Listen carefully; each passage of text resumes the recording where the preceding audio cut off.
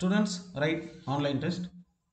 Topic name Motion in a straight line test 1. You can write test by using test link. This test link is given in description box. After completion of test you can get clarification by using solution. Solution link also given in description box.